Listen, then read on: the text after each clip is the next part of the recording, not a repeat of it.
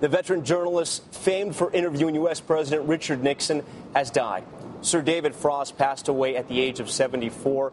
He was best known for his series of interviews with Nixon in 1977, in which the president conceded some fault over Watergate.